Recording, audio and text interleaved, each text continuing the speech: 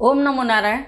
હું અરુણાબેન પી. ગોસ્વામી, સુરતથી. તમારું સ્વાગત કરું છું અરુસ કિચનમાં. આજે આપણે બનાવશું લીલવાની ખીચડી. લીલવાની ખીચડી બનાવવા માટે આપણે આ એક કપ દાણા લીધા છે લીલા. જે તુવેરના દાણા છે. અને એટલા જ આપણે ચોખા લીધા છે ખીચડીના. જે આપણે ખીચડી બનાવતા હોય એ ચોખા આપણે લીધા છે એક કપ. આ બે સેમ લીધું છે આપણે. એક આપણે મોટું બટેટું આ રીતે સુધારી લીધું છે. અને બે ટમેટાં, એને આપણે આ રીતે સુધારી લીધા છે. આદું અને મરચાં આપણે ક્રશ કરી લીધા છે આ રીતે. ત્રણથી ચાર મરચાં હતા ને, થોડોક આદુનો ટુકડો હતો, એને આપણે આ રીતે ક્રશ કરી લીધા છે. ઘી આપણે ખાલી ઉપર સર્વ કરવા માટે. બે આપણે ડુંગળી, એને આપણે આ રીતે સુધારી લીધી છે. અને થોડાક આપણે લીલા ધાણા લીધા છે. હળદર લીધી છે આપણે અડધી ચમચી. અડધી ચમચી આપણે જીરું લીધું છે. બે ચમચી આપણે લાલ મરચું લીધું છે. મીઠું જોશે આપણે સ્વાદ પ્રમાણે. થોડીક આપણે હિંગ લીધી છે અને રાઈ લીધી છે અડધી ચમચી અને એક ચમચી આપણે ધાણા જીરું લીધું છે. આપણે અમુક આખા મસાલા લીધા છે, બે ચકરી ફૂલ લીધા છે, એક તજનો ટુકડો લીધો છે અને ત્રણથી ચાર લવિંગ લીધા છે. બે તેજપત્તા લીધા છે અને બે લાલ મરચાં લીધા છે અને થોડાક આપણે લીમડાના પાન લીધા છે. તેલ જોશે આપણે વઘાર માટે અને પાણી જોશે. તો પહેલાં આપણે ચોખાને ધોઈને લેવું આ ચોખા આપણે ધોઈ નાખશું આને. ચોખા આપણે ધોઈ લીધા છે, હવે આપણે વઘાર કરી લઈશું તો આપણે કુકરમાં બનાવશું. તો આ એક કુકર લીધું છે આપણે, ગેસ ચાલુ કરશું આપણે. ને આમાં આપણે તેલ નાખશું.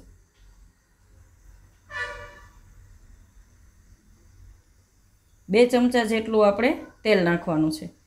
એ તેલને આપણે ગરમ થવા દેવું. તેલ આપણું ગરમ થઈ ગયું છે, તો પહેલાં આપણે એમાં રાઈ નાખશું.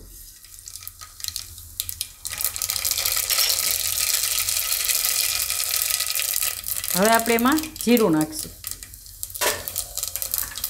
અને બધાય આપણે આખા મસાલા નાખશું. બાદિયા, તજ અને લવિંગ અને તમાલપત્ર ને લાલ મરચાં. ને લીમડો. હવે આપણે હિંગ નાખશું. અને આદુ મરચાં નાખશું.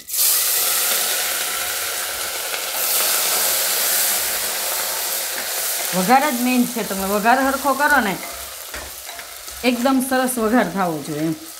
ટેસ્ટમાં ફેર પડી જાય. હવે આપણે એમાં ડુંગળી નાખી દેવું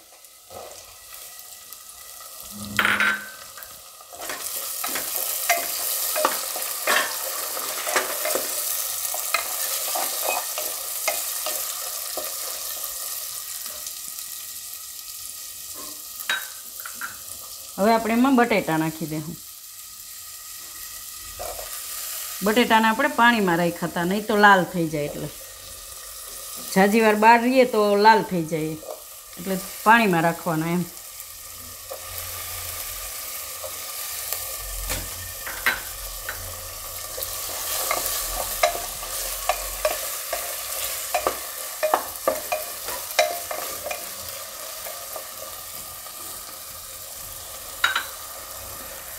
હવે આપણે તુવેરના દાણા નાખી દઈશું.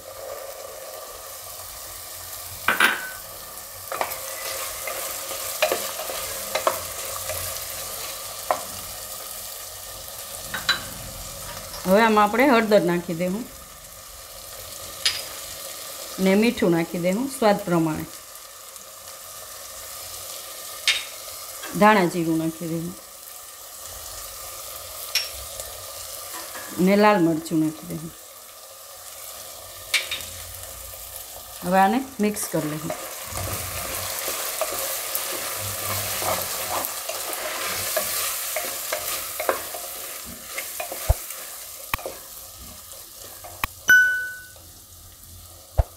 હવે આપણે થોડાક લીલા ધાણા નાખી દઈશું અને ટમેટાં નાખી દઈશું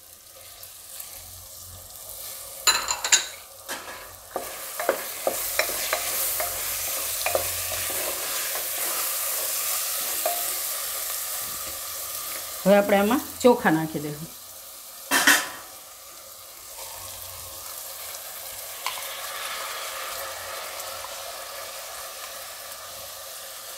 ने मिक्स कर ले हूँ चोखा में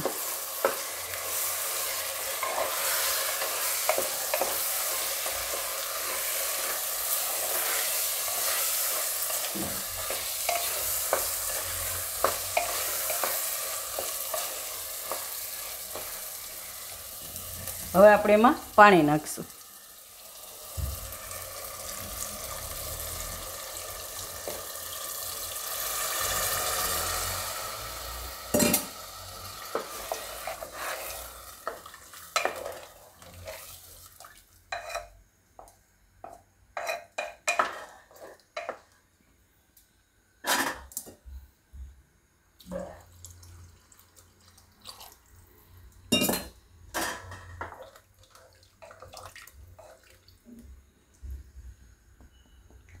આ રીતે. આપણે ચોખાની ઉપર ખીચડી છે આપણે. ખીચડીની ઉપર આપણે આટલું પાણી હોવું જોઈએ. એ પ્રમાણે નાખવાનું આપણે એમ પાણી. જોઈ લેવાનું આપણે એ પ્રમાણે. આપણે આમાં હલાવીએ એટલે ખબર પડી જાય આપણે એમ. એટલે એ રીતનું પાણી આપણે ખીચડીમાં જોઈએ. ને વટાણા આપણે આ દાણા છે તુવેરના. એ પણ પાણી પીશે એટલે એ પ્રમાણે આપણે પાણી આ રીતે નાખવાનું એમ. હવે આપણે કુકરનું ઢાંકણું બંધ કરી દઉં અને પહેલાં આપણે ફૂલ ગેસ રાખશું. પછી આમાં હવા ભરાય. એક સીટી થવા આવે, પછી આપણે એને ધીમો કરી દઉં પાંચ મિનિટ ધીમા ગેસે આપણે એને પાકવા દઉં પછી બે વિસલ કરી લઉં આપણે કુકરમાં ત્રણ વિસલ કરી લીધી હતી. હવે આપણે ખોલીને જોઈ લેવું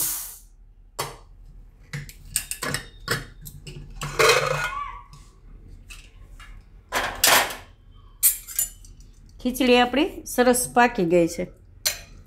એકદમ સરસ. બધું આપણે આ રીતે મિક્સ કરી લેવાનું.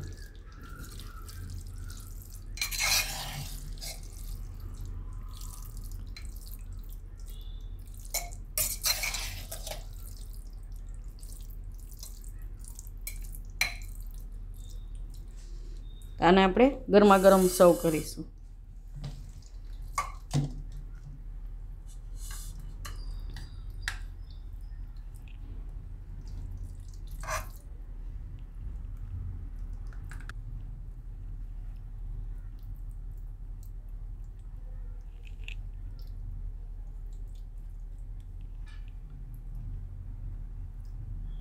ગરમા ગરમ આપણે આ રીતની સેજ ઢીલી હોય એ જ સારી લાગે છે ખાવામાં. ઉપર આપણે ઘી નાખશું. ઘી નાખીને આનો સ્વાદ બહુ સરસ આવે છે.